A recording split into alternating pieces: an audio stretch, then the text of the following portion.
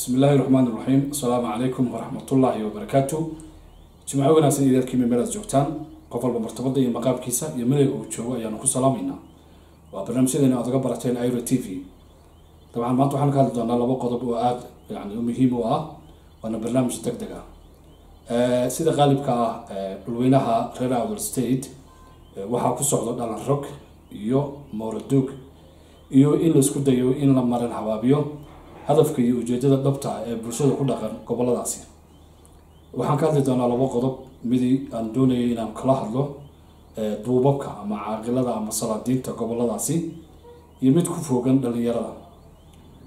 Intaan intaa u gelin araartayda sidaa la socotaan sanadkan horaantiisi bishii january heshiiskii jeeriska xoorka ahaa ee xaaraanta ahaa ee wadagaleen hogaamiyaha gooniyo goosatada muuse biixi iyo doctor abiyi oo ay qaylo badan iyo dhibaato badan ka timid oo gobolka dadka ku dhaqan gobollada awdal iyo degmada gabiley ay falcelin badan ka bixiyeen rag iyo dumarba taasi oo sababtay in meelo badan oo dunida ka mid ana runtii laga bixiyo banaanbax ama lagaga soo horjeedo aragtidaasi. Halkay dowladda federaalk soomaaliya ay irkisay dukumentiyo badan arrimahaasi waxay keeneen in laga guuro qaabkii hore ee marka hore la doonaya in loo maareeyo jariska xoornimada ama siyaasadda gurraacan muuse oo runtii ah nin askari ah oo inta badan macangaga aanan qaadan talooyinka wax ku-oolka ama luxdoon lena macalimiin badan ayaa haddana mar kale dhegta wax loogu sheegay.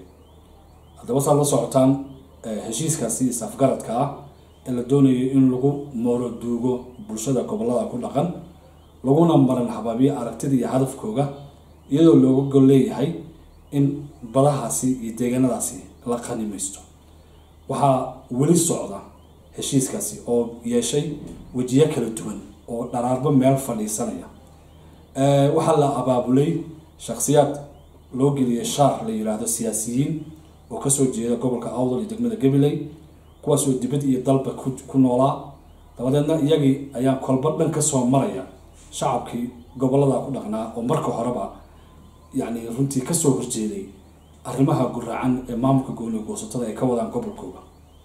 Nimankaa siyaasiyiinta sheegta ama anigo aan u aqaano baylaha siyaasadeed kuwa ka ka faa-iideystay waxay hadba meel la soo joogsadaan hadallo yaroo dabcan dabacsan iyo inay dadku kala irdheeyaan oo bulshada sida caadiga ahayd ninba ama reerba iyo afka wax ugu sheegaan iyagoo u ballanqaadaya ballanqaadyo siyaasadeed iyagoo u ballanqaadaya inay xisbiyadooda guuleysan doonaan.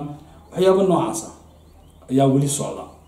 Maamulka hargeysa markaa oo helaya tab iyo xeelad cusub ayaa haddana wuxuu ku xiran yahay xukuumadda jabuuti. Xukuumadda jabuuti oo iyadana badashay aragtidii goboladaasi oo suuldhabaale iyo sabaaleyn wada iyagoona dhinac kale waxay ka karkarinayaan siyaasad. Marka laba siyaasadood oo laba dheri lagu kala karinayo ayaa midna jabuuti ka socda midna hargeysa. Bulshadana labadaasi ay udhexeeyaan haddaba intaasi markaan araarteeda kaga baxo waxaa hadda la isku dayayaa oo la wadaa in la abuuro jawi cusub dagaalo cusub oo ehli ah iyo in bulshada runtii la kiciyo dareenkooda si markaasi haddii awal xeelad iyo tab loo adeegsanayay in awood loo adeegsado. Awooddaasina runtii annagoo dana dhalinyarada gobollada ka soo jeeda waxaan u aragnaa hal in awood loo adeegsado dadka. Hal baan u aragnaa waayo qofka marka dhan walba laga soo joogsado oo siyaasadda laga burburiyo oo dhaqanka laga burburiyo oo awood loo adeegsado. Dee waxay noqonaysaa murtideed waraabadaale ayaa dirirtiisa loo tagaa. Marka in gobolka awdal duulaan lagu soo qaado oo gobollada iyo deegaanadiisa iyo baddiisa duulaan lagu soo qaado dan baa inoogu jirta. Dad badan oo mala awaal ku noola ama riyooyinka hargeysa laga suul dhabaalayo ku noola ayaa kacaya marka arrintaasa hadda la wadaa. Qodobkeyga marka koowaad haddaan barnaamijka ku daafuro waxaad la socotaan in lagu dhawaaqay waxa la gobolka gabiley sababta xilligan loogu soo beegana ay tahay in weji kale loo yeelo siyaasadda gobollada waqooyi oo burburtay oo qabiil walbana uu damaanta madihiisa ama soodintiisa ilaashanayo. Degmada gabiley oon horey uga hadalnay oon ognahay boqolkiiba shan iyo konton beelaha baasmalon inay deegaan ahaan leeyihiin waxaa halkaa kaga maqan xaquuq badan oo mid maamul iyo mid maareyn ah iyo dhul badan oo sida agabar iyo caada oo ah dhul dalaga wax soo saarka aada ugu habboon. Ayaa maanta waxaa layidhi waxaa loo aqoonsanayaa gobol.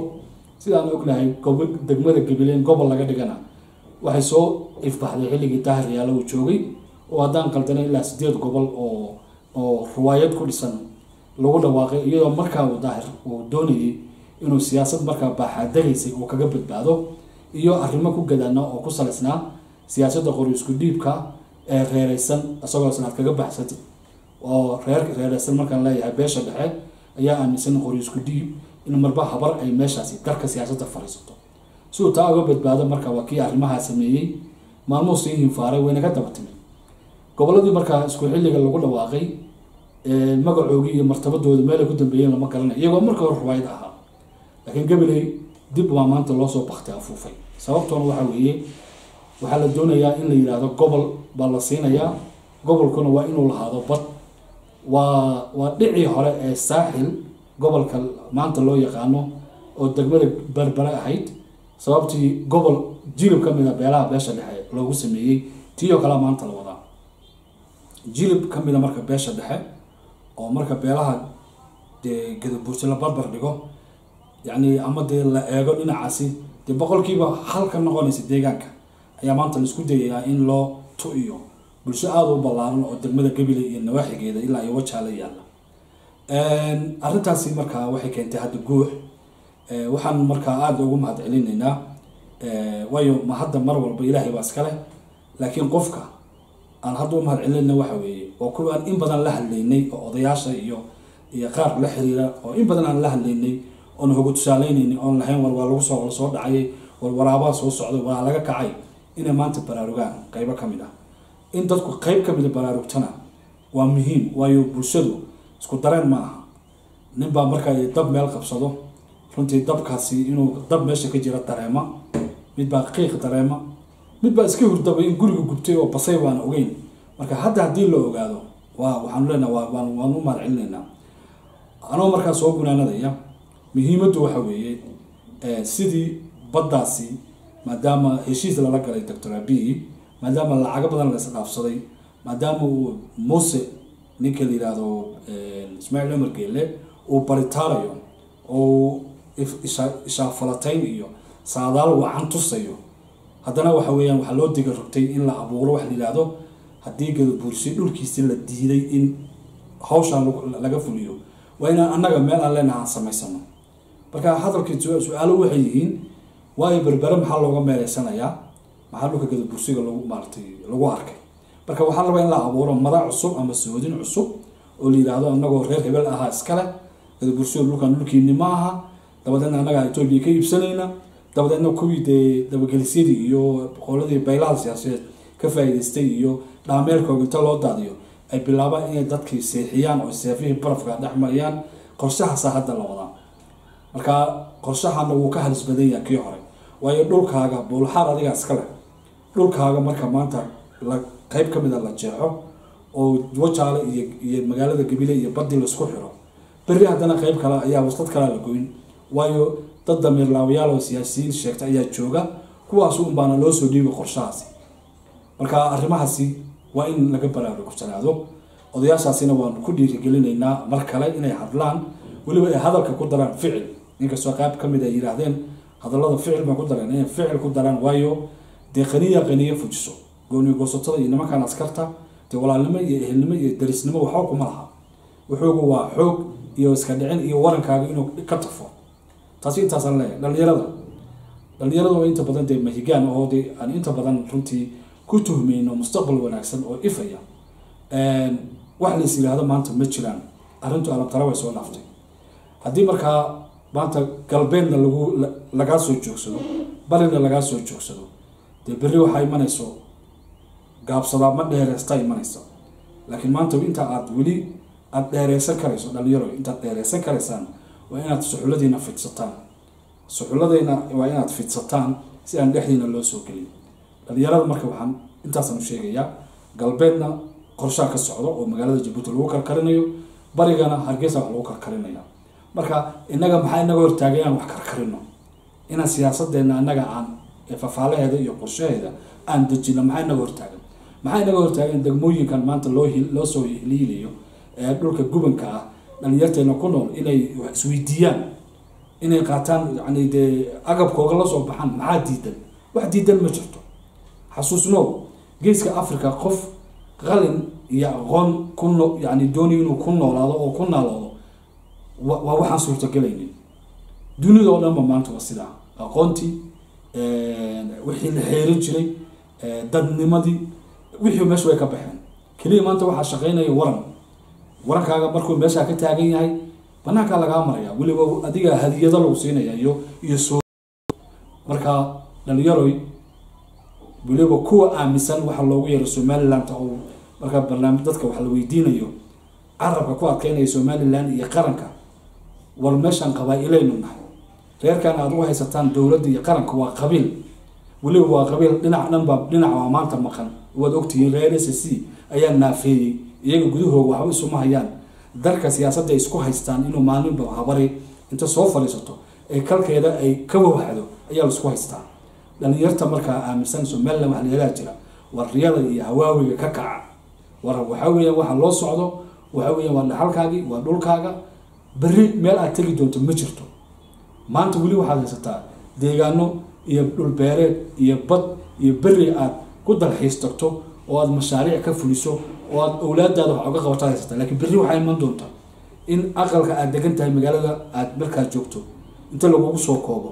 Haddaba iyadoo canshuur madaxaaga laga qaado oo meeradaada laga qaado oo caruurtaada ama canshuur laga qaado hadhow waxaa iman doonto mid taa ka sii awood badan. Waayo reer ayaa doonayo inuu gafane ku dul noqdo bulshada inta kale marka waa inaad fahantaan qaran iyo dowlad iyo wax la yihahda ma jiraan. Meeshaan qabaa-ilaynu nahay beel waliba dhul buu ilaahay dejiyey beeshaas beeshaasi baana talada dhulkaa iskale ciddii aad wax ku darsanaysaanna idinkaa go'aankeeda iskale ciddii aad iska daadaafeynaysaanna go'aankeeda iyo idinkaa iskale ka baxa riyada ah hargeysa waxna looga soo yeeriyey hargeysa askari ka yimid hargeysa nin siyaasiya ka yimid ma jirto. Hargeysa waa magaalo soomaaliyeed dad soomaaliyeed baa ku nool nin walbana noloshiisu la tacaalaya. Adiguna dhul baad leedahay baaxad leh aqoon baad leedahay dhaqaalaad abuuri kartaa baddaasaad leedahay. Adiga maxaa kuu diidan inaad hay'adaha caalamiga ah la heshiiso? Maxaa kuu diidan inaad dowladaha waaweyn adduunka ee badaha daneeya ee macdanta daneeya ee wax soo saarka yani abuura oo kaabadaha dhaqaalaha abuura adigu inaad la heshiisa maxaa kuu diiday? Maxaa hanka iyo hamada kaa qaaday? Maxaa kuu diiday inaad adigu siyaasadaada karkarsato adiga aad mas'uul ka tahay walaalkaa uu garab joogo walaasha ay ku irkinayso adeeradaa ku yani gaar kaa hayaan maxaa kuu diiday inaad sidaa u fikirto inta aad sugaysidun dufan ka soo hooray nin kale oo meel kale joogo oo intuu dhargay wixii yaraa ka soo haray oo lugta ragaadka ku soo riixay inaad sugtid maxaad ku falaysaa isla tuur waxaa loo yiraa wadani iyo kulmiye iyo ucud waa hal geed oo saddex laamood ay ka baxeen. Marka halkaa geed baa maalin walba doonayo inuu maalina laan heblaayo adiga kaaga dhigo madax. Maalinta laantaa fushana laan kale madax kaaga dhigo. Marka waxani adiga samaysan kara xisbiyaad abuuro kartaa wasiiraad samaysan kartaa dowlad baad samaysan kartaa lacagaad leedahaad samaysan kartaa cid kaa hortaagan garaadkaaga iyo caqligaaga keliya inaad la kaashato baa kaa hortaagan intaas marka ayaan ku soo afmeerayaa hurdada ha laga kaco war qabiil qabiil uu dowladeyn kara ma jiro qarankii soomaaliyeed ee dowladda federaalka ad arkaysaan reer walba inuu dhulkiisa asaga maanta ka tashado hay'addu doonayo u yeedho beelaha caalamka magaaladu doono iyo wadanku doono ugu tegayo maxaa ku daba dhigay xaafad tashatay oo iyaga ku muransan noloshooda? Haddaad dhalinyarta reer awdo iyo degmada gabalay tihiin maxaa idin daba dhigay? Waxaynu joognaa maalintii loo jari lahaa cawda. Waxaynu joognaa maalintii remotka layska furi lahaa. Waxaynu joognaa markii aan annaga ciidamin lahayn baa la joogaa dibad iyo gudaba inaan ciidamino maalintii ay ahayd haddii adeeradeen ay wax ka ribteen haddii adeeradeen ay khaldameen wixii dhaca way dhaceen waa inaan iska ilowno waa inaan beej cusub oo nolol fiican leh oo walaalnimo leh oo ehelnimo leh oo tudhaalo leh waa inaan furano. Biyana sacbadaada laga dhargaa. Waxaan annaga isu hayno iska hagran mayno taasaan marka idinkaga tegayaa